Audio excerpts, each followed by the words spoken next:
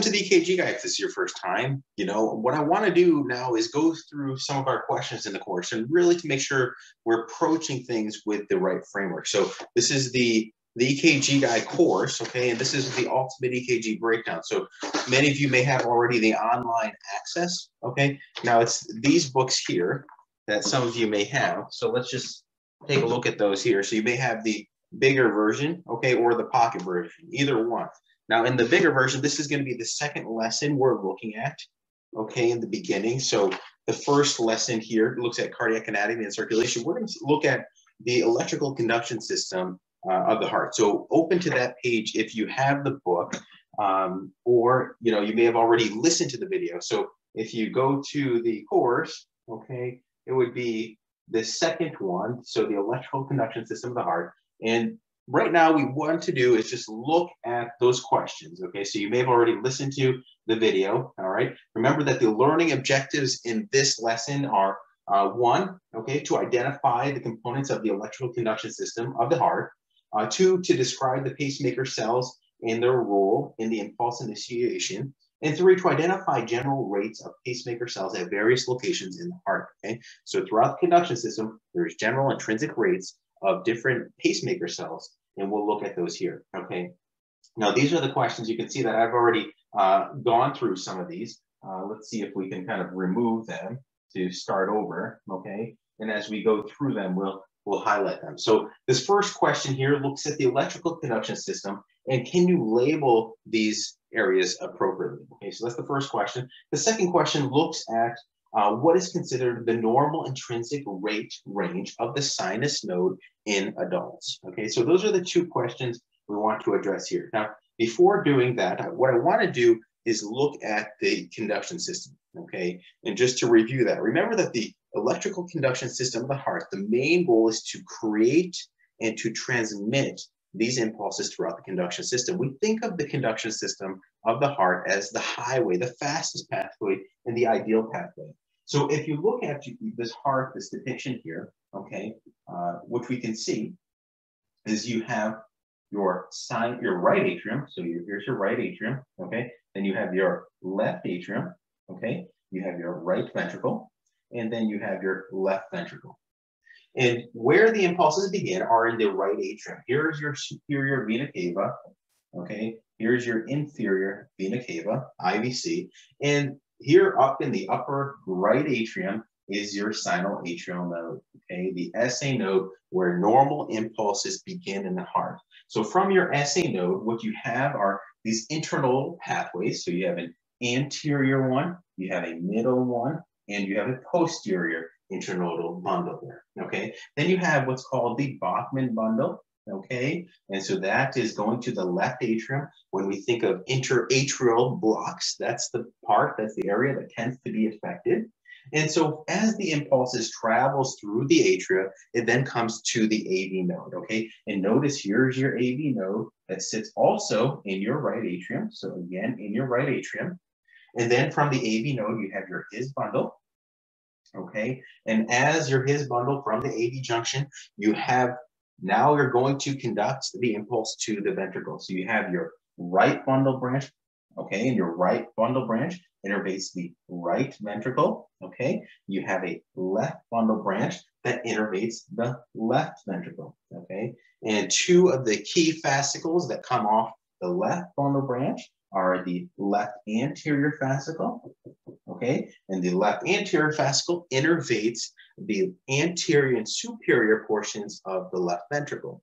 Whereas you also have a left posterior fascicle, okay? The left posterior fascicle um, is something that's less vulnerable compared to the left anterior uh, fascicle. And the left posterior fascicle innervates both the inferior and the posterior aspects of the left ventricle.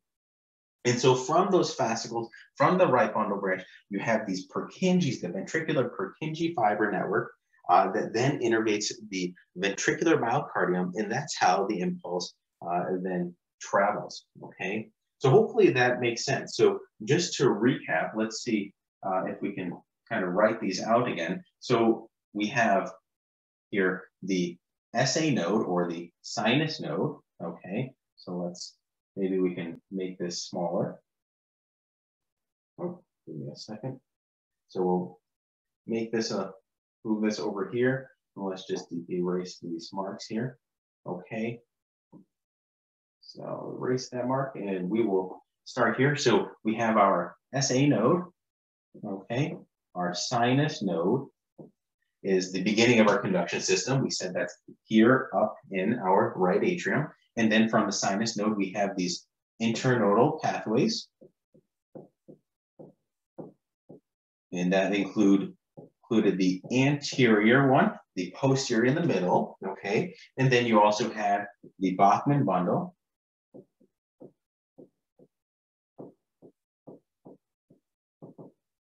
Okay, and then from there, so that's innervation of the atria. And from there, you have the AV node, okay? Then the his bundle. And then from the his bundle, you have a right bundle branch that innervates the right ventricle, so the RV, okay? And you have the left bundle branch that then subdivides into two main fascicles, the left anterior and the left posterior fascicle, okay? And these innervate the left ventricle. So that's the main conduction system there, okay? So the, the key features that you should uh, be aware of. So if we look at this question here, can you label these portions of the conduction system? Well, we said that the up here in the upper right atrium is our sinus node, okay? The one, then you have your internodal pathways, and going to the left atrium, you have your Bachmann bundle, so we can place that one there. Okay, it sticks there. Let's see. Okay, let's see if the Bachmann bundle will go there first. Okay, and then we'll add the sinus node. And then from there, you have the AV node. Okay, again, notice that the AV node sits in that right atrium. And finally, you have your his bundle. Okay, so if we check that, okay, it should check out. So that is actually the correct way. And then notice you have your uh, bundle branches, the right and the left one uh, that then go through. Now, the second question here is what is considered the normal intrinsic rate uh, range of the sinus node in adults? Okay, so we're focusing on adults. In our pediatric course, we look at the pediatric, then the rates tend to be a little faster at the younger ages until they start getting older. Okay, and so the few things you have to know is that the pacemaker cell. So what do we mean by that? That was the, one of the second learning objectives. The pacemaker cell is the one that dictates the rate of the of the actually heart of the conduction system. Okay, it's the fastest pacemaker of the heart, and that is the one that controls the uh, the heart rate. Okay, and you have to also realize that the fastest starts up in the right atrium. So let's now go back to our conduction system here, okay? And I'll erase some of the things that we've already discussed, okay? And so the thing you have to know here is that the fastest uh, pacemaking cell is the one that dictates the rate of the heart. So that's what we mean by pacemaker cell. So up here in our right atrium, this is our sinus node, okay? And all of these different areas from top to bottom have a different intrinsic rates. And so with the sinus node, this one has a rate between 60 and 100 beats per minute in adults. Okay, so those are the intrinsic rates that we tend to think of about in adults sinoatrial node, the sinus node. As you start to get lower, okay, for instance, in the atria, it's a, it's a bit lower, okay? So let's say in the atria that it is between, say, 55 and 60 beats per minute, okay? Or maybe around there. You may have ectopic foci that have that intrinsic rate. And then as you get lower, okay, into this AV junctional region, you start to think of rates between 40 and 60 beats per minute, all right? And as you get lower, uh, down into the ventricles, start to think that the intrinsic rate of this area is between 20 and 40 beats per minute. So that's in general what we should think about. So up in the top in the sinus node, the atria, think of 60 to 100 in adults. As you get to the AV junctional region, think of 40 to 60, and lower 20 to 40 beats per minute. So those are general cutoffs that are important because as you start to differentiate different rhythms, uh, these are important uh, different intrinsic rates to be about, to be aware of. So if we look at the question here, what is considered the normal intrinsic rate range of uh, the sinus node in adults? Well, here's your sinus node, and we set it 60 to 100 beats per minute. So it should be uh, this answer here.